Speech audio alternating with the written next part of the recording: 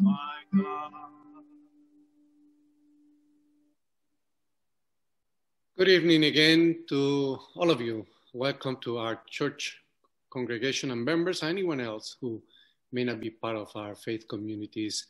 Uh, this is our contemplative service in the Taizé style, uh, prepared for you with uh, great love and uh, having in mind the need to stay connected with our God uh, by Pastor Matt Schaeffer of Bethel United Methodist Church and I, Pastor Rafael Garcia of Christ United Methodist Church here in Staten Island.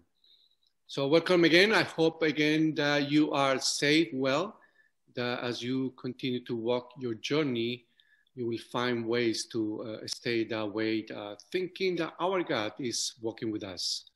So with that in mind, let us uh, today um, begin this part of the uh, contemplative service with a reading by Thomas Merton, a, a great contemplative figure um, in this country.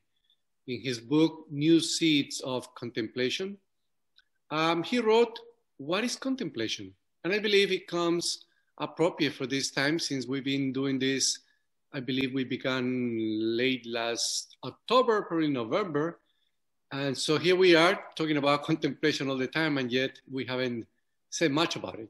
So today I, I will read a little bit about what he said, and then I uh, will give you some time for you to think about that. Contemplation is, above all, awareness of the reality of that source.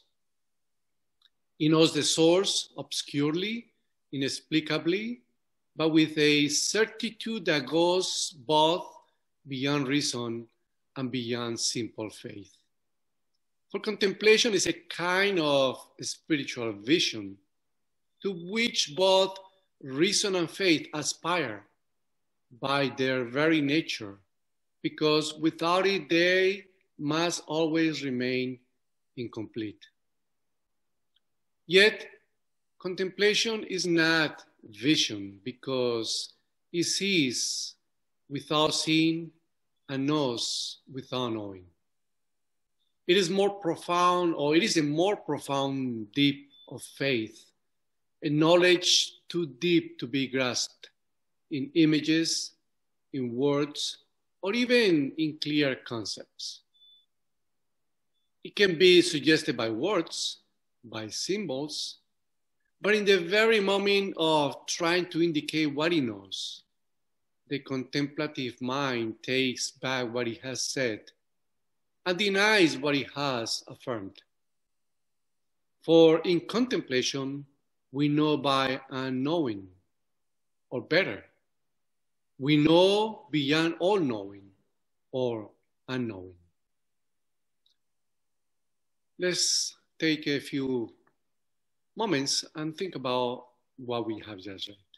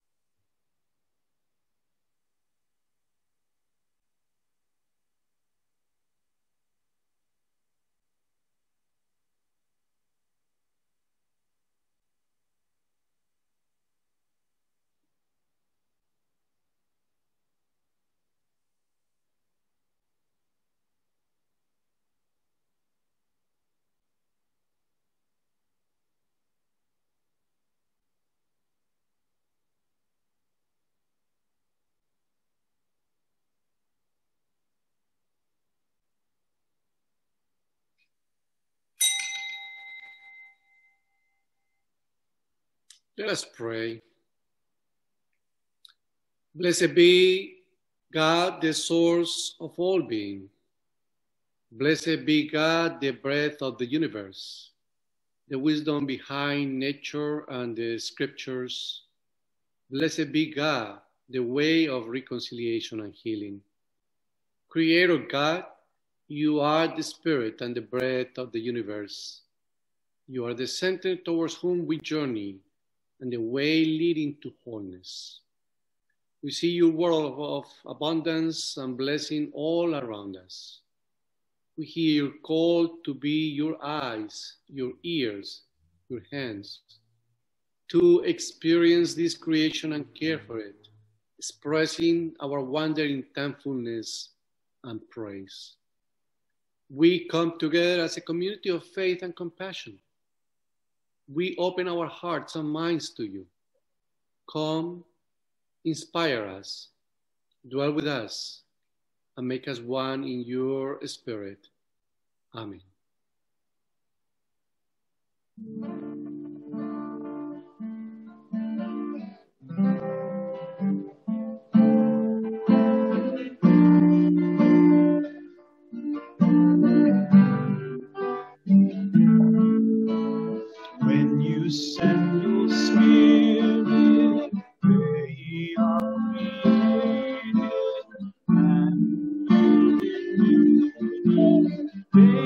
Face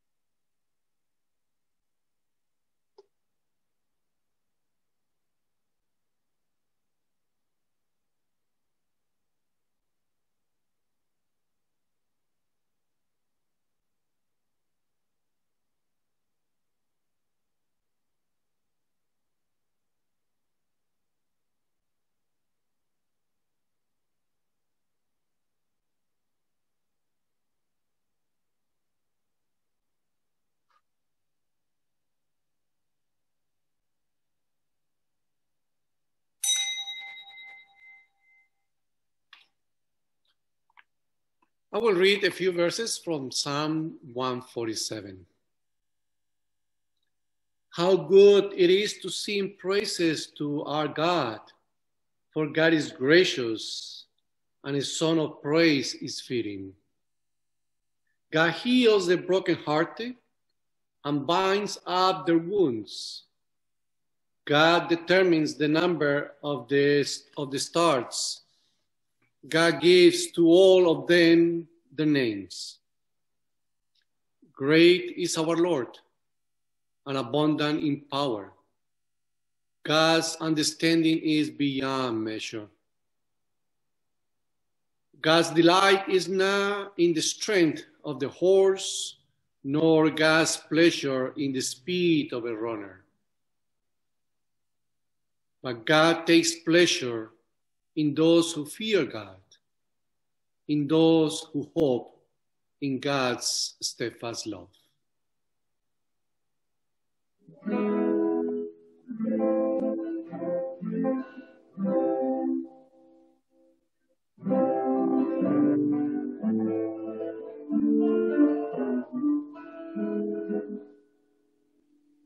In God alone my soul rest and peace.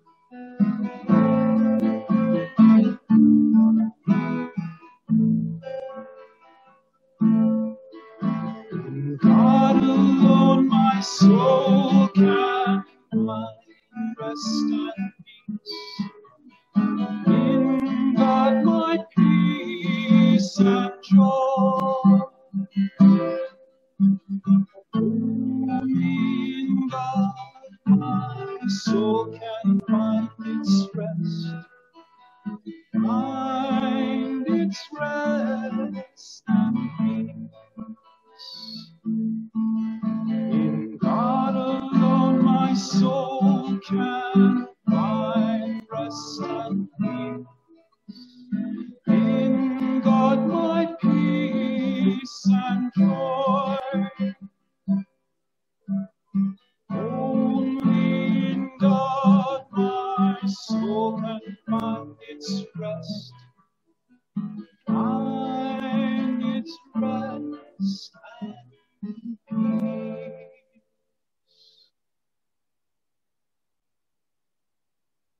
you heard those words of the song? Let us try to find some peace in the God of love and compassion.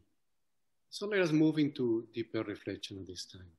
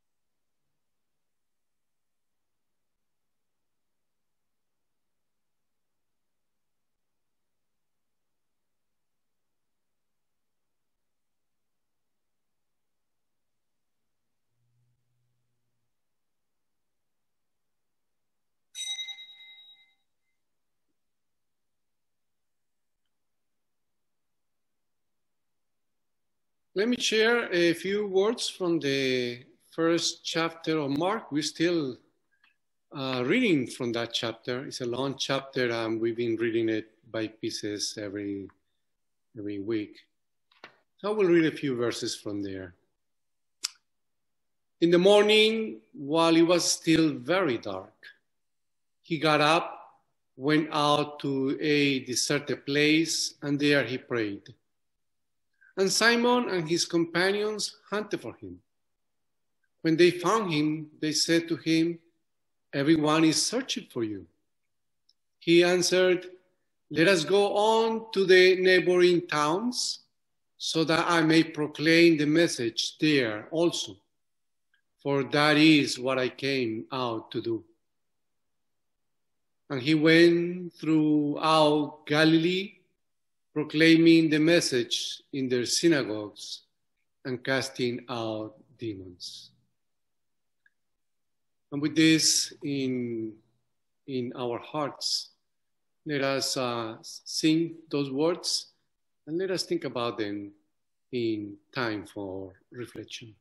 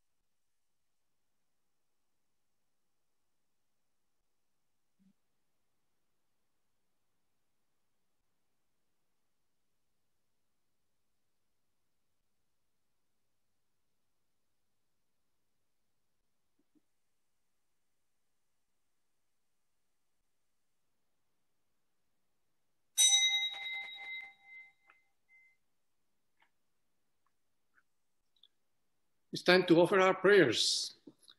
Uh, as we have been doing it lately, uh, we'll um, start with a Kyrie and use the same psalm as a response after each petition. Uh, also, if you have a candle, you can. You are invited to light it. I will light mine over here.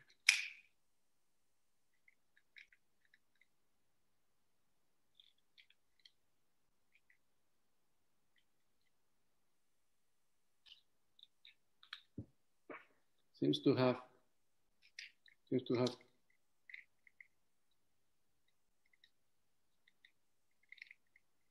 well I have some trouble with that so we'll leave that that way that's not a problem and so let us start with the Kyrie and then we'll we'll offer our petitions.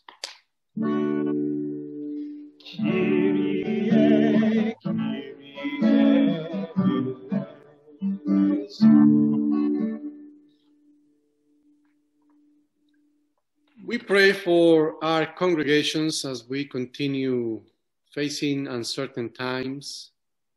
We pray that our sense that God loves and cares for us will strengthen our commitment to make visible this love and care in our neighborhoods.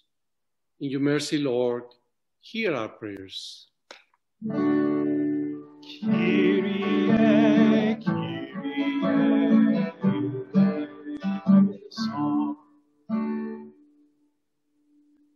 Let us pray for our pastors in our conference for mental, physical, and spiritual health.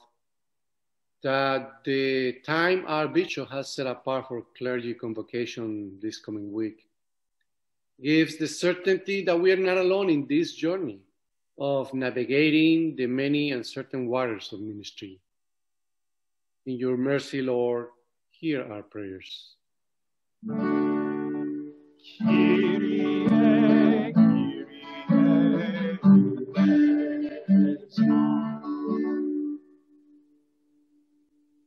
Our prayers are with the health community and government leaders in this race to stop and control the spread of the coronavirus.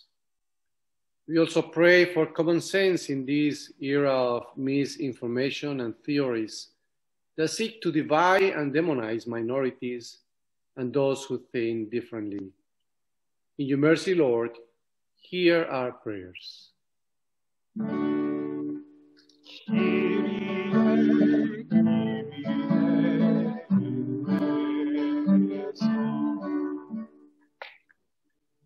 We offer our prayers for those striving for freedom, democracy, human rights, and decency in countries where these basic rights are not only denied, but in some cases punished, punishing those who speak up.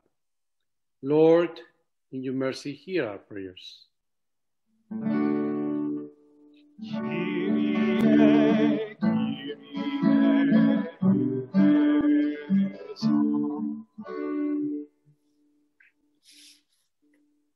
And with these petitions, now let us offer or let us read the Lord's Prayer in the Jesus Seminar style found in the Rex uh, a, uh, excuse me, aehuntprogressive.com.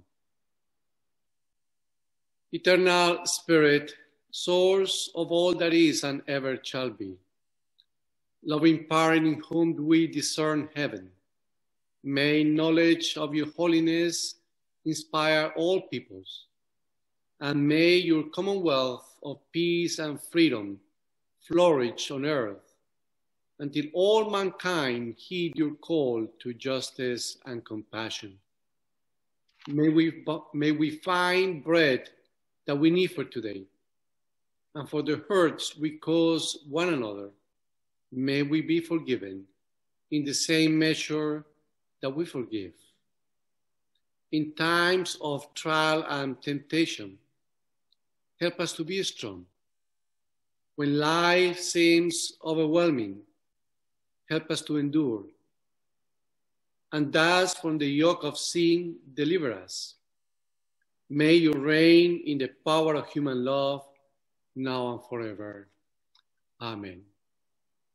And with this beautiful prayer, let us uh, now um, listen to the benediction as we always need God's blessing for the journey. May the God you see in all the colors of creation arouse in you a sense of awe and wonder. May the God who is sacred presence be real to you. May the God who is a source of inspiration and courage keep calling you forward. May you God go with you and bless you. Amen. Go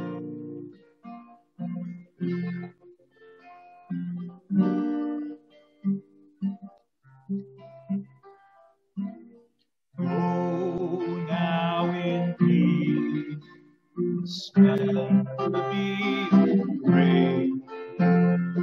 God will be with you each hour of every day.